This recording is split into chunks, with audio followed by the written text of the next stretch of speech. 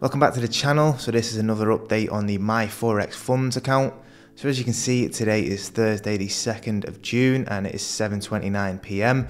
So we've done it, we've managed to pass the phase one of the My Forex Funds challenge. So today we did take a number of trades and the profit target was actually hit.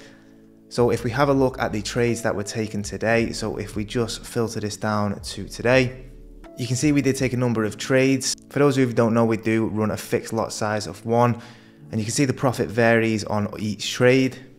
So some of which, like that sell there, $109, is more than others, but you can see overall the profit that has been made just today. So $173 there on that sell.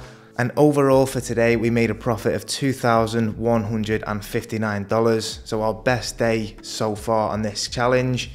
So if we look at the account analyzer then you can see the profit that we have made on the phase one. So $50,000 starting balance and you can see a profit target of 4,000. And as I say, we've now hit 4,838. $2,159 made today, so 4.1% today with 179 trades taken, so 179 lots. A win rate of just under 60%. And as you can see, we do actually have 28 days in order to try and pass the challenge, but obviously it has passed today. So all I'll do now is I do need to trade a couple more days, so I'll just take a couple of 0.01 lot sizes just to hit the minimum amount of days that you need to trade the account for. And then I will wait for the phase two logins to come in. But as I say, this service also trades the phase two. So hopefully we pass that as well. If you do have any questions, please just let me know. And thanks very much for watching.